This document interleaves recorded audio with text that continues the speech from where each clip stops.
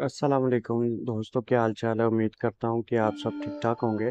तो आज की वीडियो में हम एक बात करेंगे कि अगर आपका फ़ोन इन्फिनिक्स का है या टेक्नो का है तो अगर आपने फ़ोन को परचेज़ किया और परचेज़ करने के बाद आप किसी और कंट्री में चले गए हैं तो इस सूरत में जो सा आपका फ़ोन होता है, वो लॉक हो जाता है। तो लॉक होने की सूरत में आपको फ़ोन को अनलॉक करवाना होता है। तो अनलॉक करवाने का मेथड क्या होता है, उसके बारे में मैं आपको आज की वीडियो में गाइड करूँगा कि अगर आपने ये फ़ोन लिया है तो इसको बाद में आपने अनलॉक कैसे करवाना है। जैसे कि आप देख सकते हैं कि ये भी मेरे पास मैसेज आया। किसी और कंट्री से आया है, क्योंकि मैं तो पाकिस्तान में रहता हूँ। किसी और कंट्री से आया है और ये किसी और ज़बान में लिखा हुआ है, लेकिन मैं समझ चुका हूँ कि इनका जो सा फ़ोन है, वो लॉक हो चुका है। अब लॉक होने की सूरत क्या हो सकती है? इसकी सूरत यही हो सकती है कि आपने फ़ोन किसी और कंट्री से परचेज़ किया मिसाल के तौर पर आपने फ़ोन लिया है पाकिस्तान से, और पाकिस्तान से आप साउथ अफ्रीका चले गए हैं या किसी और मुल्क में चले गए हैं तो इस सूरत में आपका जो डिवाइस है, वो लॉक हो जाती है। तो लॉक होने की सूरत में आप फ्री में इसको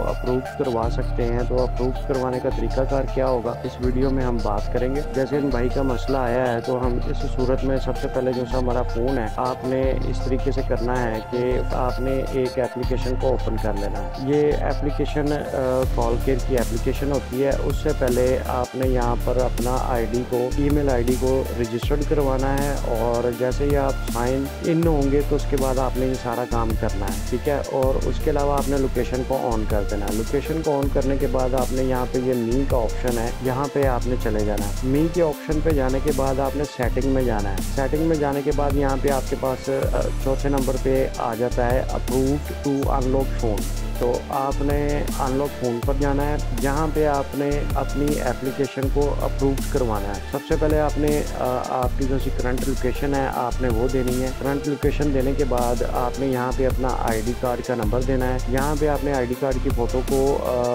अपलोड करना है। उसके अलावा जो सी आपने जब परचेज फ़ोन किया होगा, उसकी इन्वाइस का नंबर जो सा होता है इन्वाइस का नंबर आपने यहाँ पे दे देना है। उस इन्वाइस की आपने फ़ोटो फ़ोटो यहाँ पे अपलोड करनी है। उसके बाद डिवाइस इन्फॉर्मेशन देनी है। आपने डिवाइस की आई एम आई नंबर क्या है? और उसके अलावा यहाँ पे आपने manually I M I number लिखना है। आपने एक स्क्रीन लेना है। स्टार एच ज़ीरो सिक्स मिलाकर आपने अपने आई एम आई नंबर की स्क्रीन लेकर यहाँ पे अपलोड कर देना है। उसके अलावा आपको यहाँ पे फ़्लाइट का नंबर देना होगा। बोर्डिंग पास की आपको फ़ोटो कॉपी यहाँ पर अपलोड करने के बाद आपको सबमिट करनी होगी। जैसे ही आप इसको सबमिट करेंगे तो सबमिट करने के 24 आवर के अंदर अंदर आपका जो सा फ़ोन है उसको अनलॉक कर दिया जाएगा और इस तरीके से आपका जो सा फ़ोन है वो किसी भी कंट्री में आप उस कंट्री में तो यूज़ कर सकते हैं। उसके अलावा आप किसी और कंट्री में भी जाएँगे तो वहाँ पर भी आप इस फ़ोन को इस्तेमाल कर सकते हैं। अगर ये फ़ोन दोबारा लॉक हो जाए तो इस सूरत पे अगर अब मिसाल के तौर पे आपने वो कंट्री चेंज करके कि, किसी और कंट्री में गए हैं आपने ट्रैवल किया है तो उस